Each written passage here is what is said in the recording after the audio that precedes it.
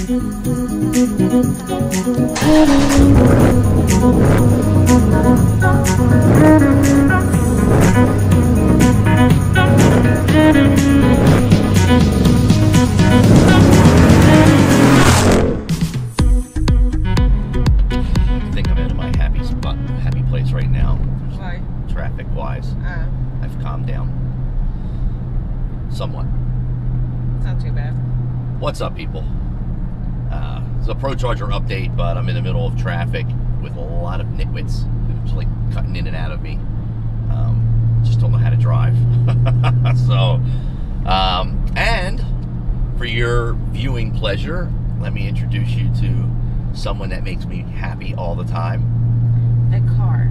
I do. She keeps doing that. She keeps stealing my Yes. thunder. This is like the fourth time I turn the camera on, and she keeps stealing my joke. I was gonna say my Red Bull this time.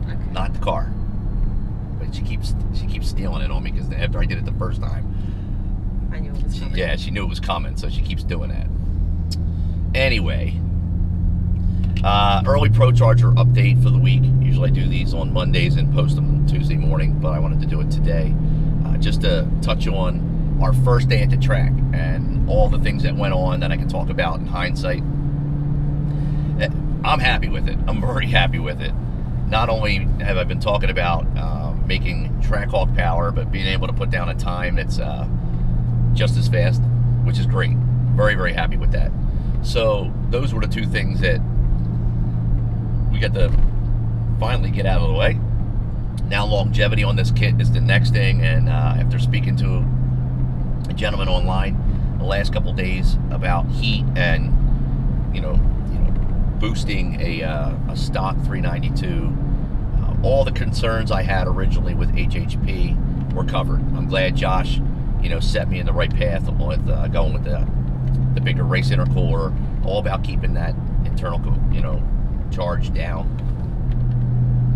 So anyway, what happened at Atco? Well, we went with the MS109 tune. Uh, I put five gallons of MS109 in the car. Uh, we ran sport mode on our only pass of the day. Uh, foot on the brake, no RPM buildup, and as soon as the light turned green, just mashed the gas. That was it. Uh, right around fifth or sixth, I was actually probably around sixth or seventh gear. It was really high up there, right around the, the finish line, is when I um, noticed a little kind of like not a shudder, but like it pulling back on me.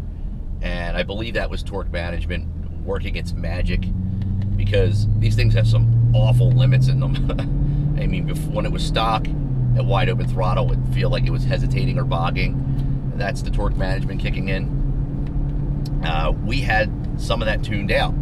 I actually have a TCM tune that's supposed to go in with my current tune. However, when I switched out of the 93 to the MS109 tune, I forgot to include the TCM tune, and I realized that later on that night when I went back and watched the footage. I forgot to add it, so whoops. Um, I don't know if that cost me a, a tenth or not, but definitely wasn't good. so that won't happen again. That mistake won't happen again. Uh, the track had some mishaps. Talked about a lady going up the track in a uh, funny car, blew up her engine, drug oil all the way down the lane. I, I don't know if she panicked or if she just couldn't stop. I don't know what the situation was. All I know is it took an hour and a half to clear the track, like resurface it. So that was one. And then immediately following that, another guy broke down. That took 30 minutes to clean. And then we were still in line for a couple of hours waiting to do our second pass. And then another car didn't look like it was should be there to begin with. It just didn't look like it was road serviceable. It went down the track and blew up, caught fire. And then after that, it was like, like I said, like a kid on prom night pulled out early and left. I couldn't stay another minute. Um, Sean was there, one of the members from our group. Uh, I'm gonna let he ran an 11 2. He's in his quest to crack tens. He's in a uh, Hellcat um, Charger, very nice car. Um, gonna let him know the next time I go, and a couple other people who were asking me. But it'll be in a couple of weeks. It'll be on a Friday. I'll give you guys a heads up early. and I'll plan this out a little bit more. This was more of a uh, last minute deal. Uh, I was supposed to go see Brian at Elite Custom Lighting on Friday and drop off my headlight, but that got canceled. So at the last second, I was like, you know what, F it, I'm going to Atco. And my plan was to get there right at 4:30, register, get on the track at five, do three or four passes, and come home and be home by eight. That didn't happen, did it? Close Nope. to midnight. Closer to midnight.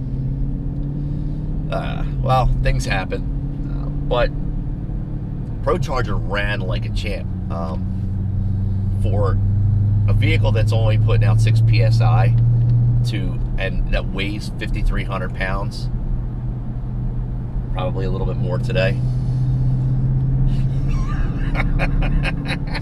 Come on, Ah, he right, dead meat.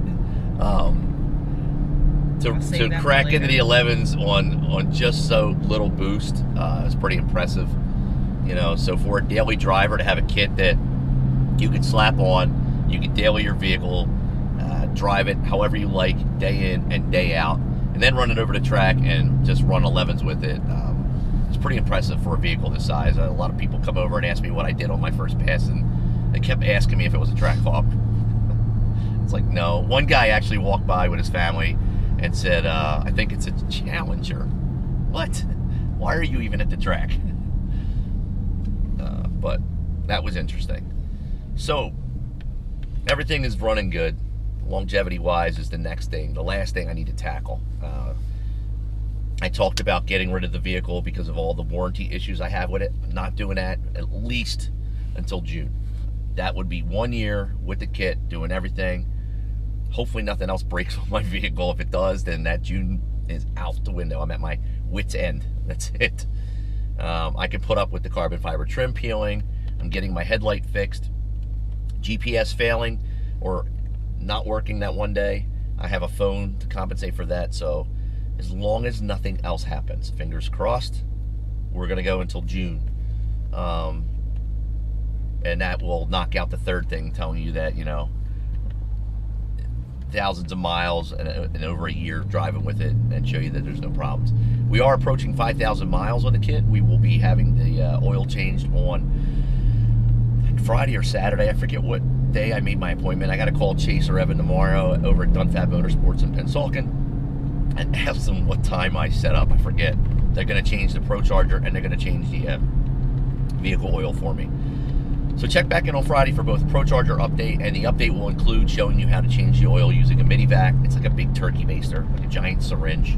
Suck it out. It's recommended by ProCharger and HHP and most shops that uh, install these. So if you're concerned about sucking the oil out from the top where the little sprue and the dipstick is attached, don't be concerned. I know I had a couple comments from people going, "Oh, you can't do that. You've got to drain it from the bottom," which is not true. So that's all I got today. If you have any questions, comment below. Please subscribe if you'd like. And if you have any questions for her, don't bother because, you know. I'm so dead. all right, people. That's all I got for you today. Have, be safe. I'm out. And if I don't come back on here, call the police. Mhm. Wink, wink. She did something. all right, I'm out.